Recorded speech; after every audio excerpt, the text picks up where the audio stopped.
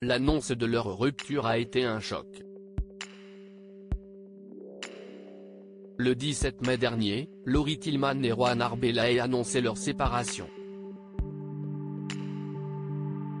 Afin de couper court à toutes les rumeurs et articles nauséabonds, je souhaitais vous partager qu'après sept temps de bonheur intense et d'une vie commune à mille à l'heure, Juan et moi décidons ensemble de continuer nos routes séparément.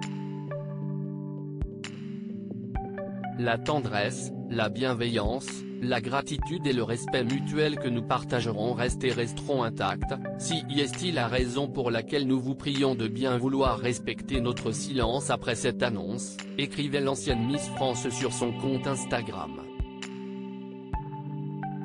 L'occasion aussi de remercier son ancien compagnon, Julien a égayé ma vie de mille couleurs et aura toujours une place à part dans mon cœur.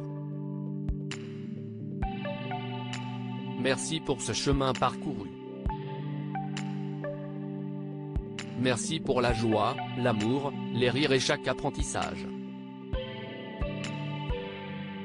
Après la tristesse, vient désormais le temps des instants à vivre tout seul.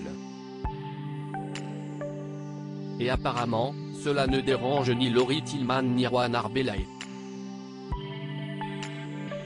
En effet, les deux anciens tourtereaux n'hésitent pas à partager avec leur communauté, tous les bons moments qu'ils passent l'un sans l'autre. L'ancienne Miss France s'est ainsi dévoilée en tenue de sport sur la presqu'île de Crozon, dans le Finistère.